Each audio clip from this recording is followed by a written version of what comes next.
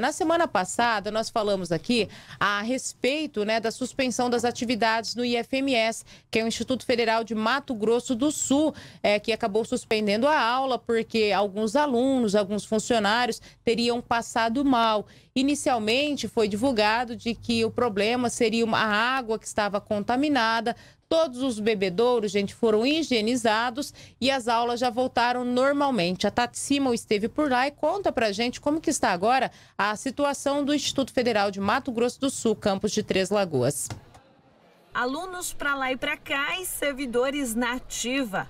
O cenário de normalidade no campus do Instituto Federal de Mato Grosso do Sul de Três Lagoas é bem diferente de uma semana atrás, quando as atividades presenciais foram interrompidas por conta de uma então possível contaminação na água do estabelecimento, como explica o diretor do campus, Valterísio Carneiro Júnior. Desde a semana passada, na quarta, quarta-feira, já tivemos um retorno por meio da vigilância sanitária, que fez a coleta da nossa água e que identificou que ela está potável.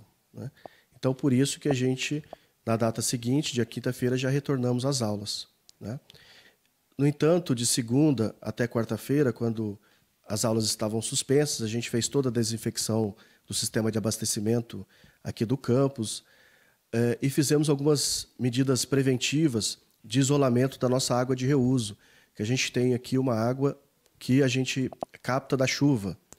E essa água que uh, a gente isolou porque a gente está procurando agora as hipóteses dessa possível contaminação, uma vez que o laudo primeiro deu impurezas na água e o laudo segundo, após essas limpezas e, esse, e essas manutenções, já não constou. A comunidade ainda fica desconfiada com a água, até pelos impactos que tiveram no seu corpo, é né, natural, Porém, a nossa água está sendo comprovada diariamente pela sua potabilidade, então a gente garante que ela está limpa e apta ao consumo.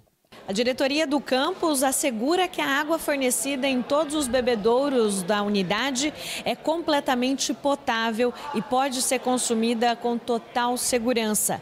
Mas orienta que, caso algum aluno ou servidor apresente algum sintoma, como febre, dor abdominal, dor de cabeça ou náusea, deva informar o campus do IFMS e, em seguida, procurar uma unidade de saúde. Como no momento ainda está apontando como potável. A gente segue normalmente com as aulas.